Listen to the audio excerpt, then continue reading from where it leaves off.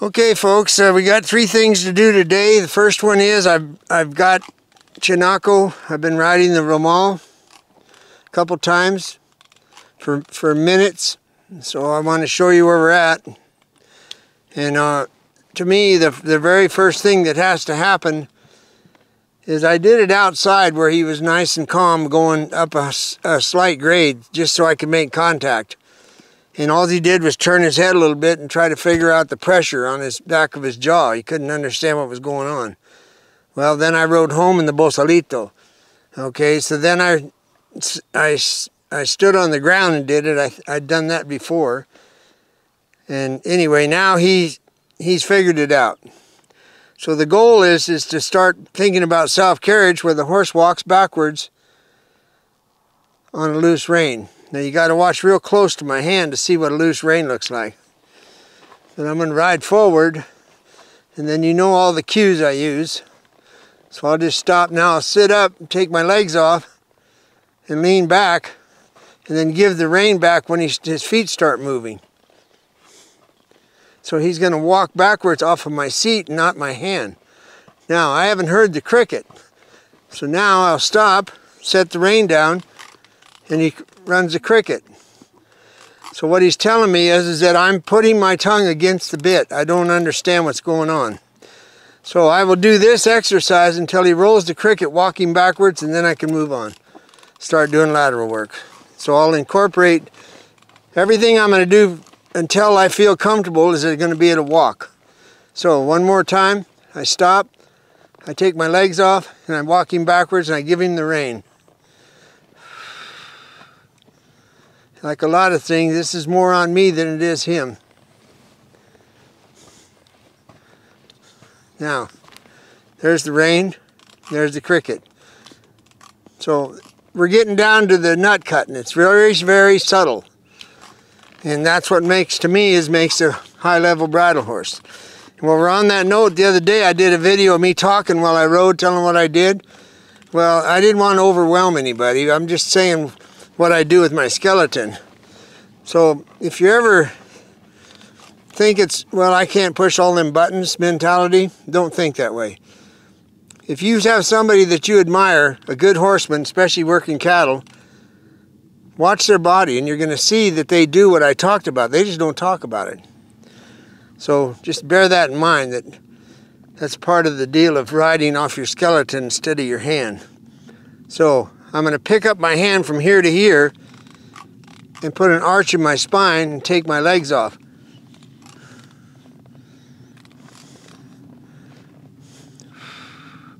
Now I'm going to bump with both legs. I just did. Now he's walking backwards until I drop my legs down. Now I'm going to try to breathe him into the cricket. Now I'm not putting my hand down this time. This is why this is so, I don't know what you call it. It's finite. We're getting down to the deal. There, that's with my hand here. There's the total release. Okay, that's going to go on until I feel good about it. And my friend Will, congratulations on that beautiful horse you got in Australia. And then Bill, there's Will, and then there's Bill up Mariposa. You're doing good with your horse. I know you are. I got to visit with you. So next is the cattle working deal. And what I want to show today is one of the biggest mistakes people make. And I'm going to show you wrong first, and then I'll show you correct. And the, the, the big mistake people make is they ride, if they want to turn a cow back the other way, they go too far. Because they think their body has to turn the cow. I'll show you the position. This is the wrong position. The wrong way is to ride all the way up to where your body is in line with the eye. Right here. That's too much. So what happens is if you want to turn a cow to the right, for example, what they'll do here is they'll back up and duck out behind you because you overwhelmed them, you overdid it. So now I'll put him back in position. There, are the cricket's rolling as he backs up, incidentally. So now, what I want to show you, the reality of working cattle is the horse's head reaches the eye before you do. And that's how you actually turn a cow. And that's why you're not going to be late. When it does turn, you can be there to do whatever it is you want to do. If you go all the way to your body, you're late. They're going to leave and you just failed. So now I will show you the correct position. And that would be right there. My horse's head just went past the eye. And that's all it takes for a cow. So that's something to remember when you're in the corral and you keep blaming something. I have no idea what. But the fact is, most people override cattle. That's why they have trouble. So now on the same note, if I want this cow to just bear off to the right, and I'm back here, I would simply come in at a stronger angle and right about here because it's got all this vision if you ever look at a cow their ears the way their ears are made they can't see behind them very well it blocks their vision well that's the ultimate prey animal so when you get farther away at a 30 degree uh, damn near 45 now that cow, even if its ear's back watching you, it can still see with its eyeball. So I'm going to ride to the eye, bam. Right front foot starts to move. I take the pressure off and I move over. Now it stops, I hit it again. If it's doing what I want, I take the pressure off. Now, this is how you would stop a cow. It started to turn, so it's going to the right. I need to stop the cow.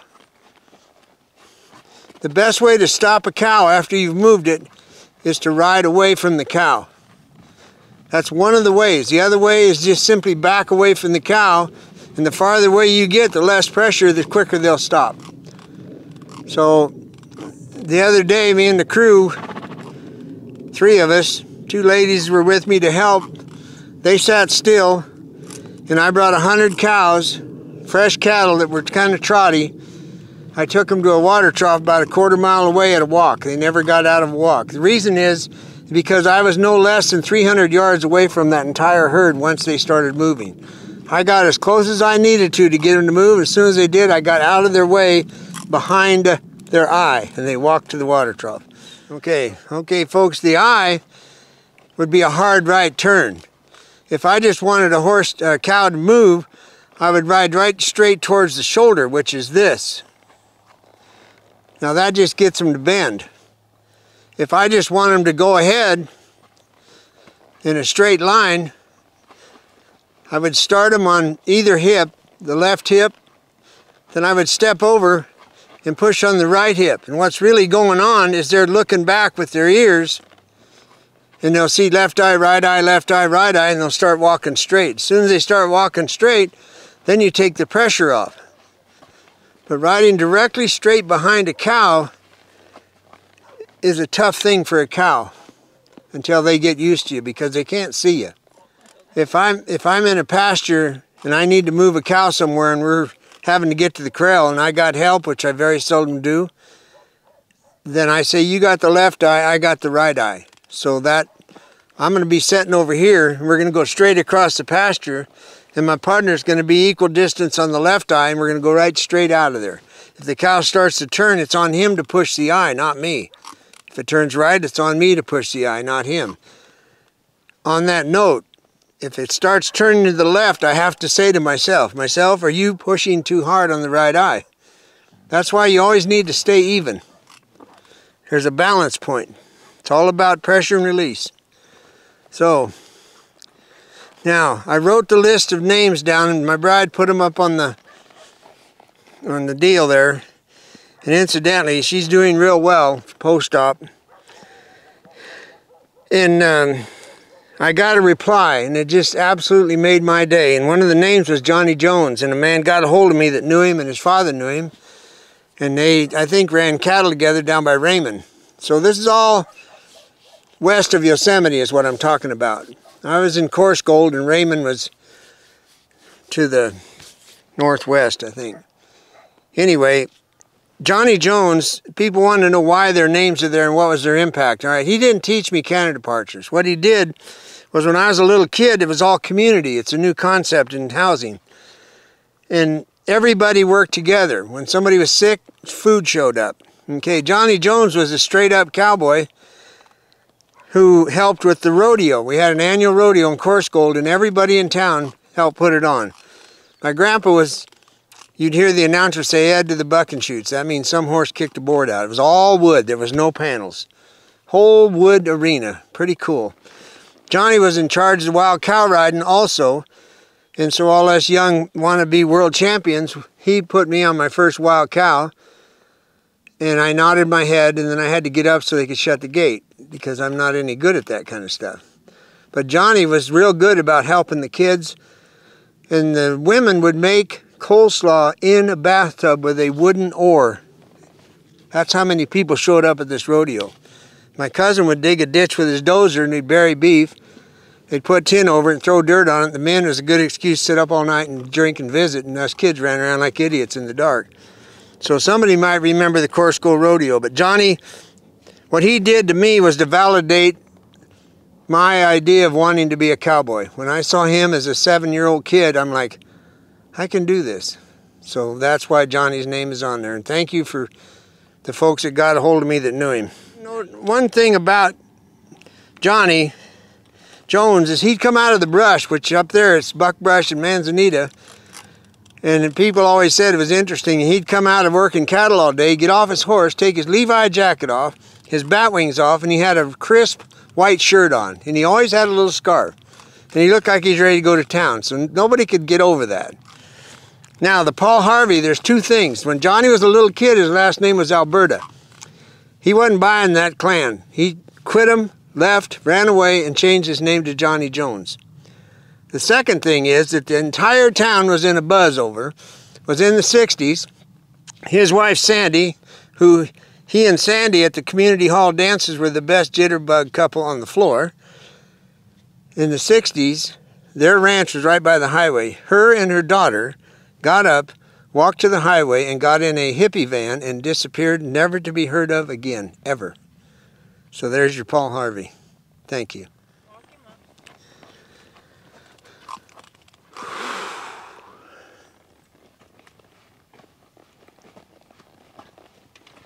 Oh, how pretty.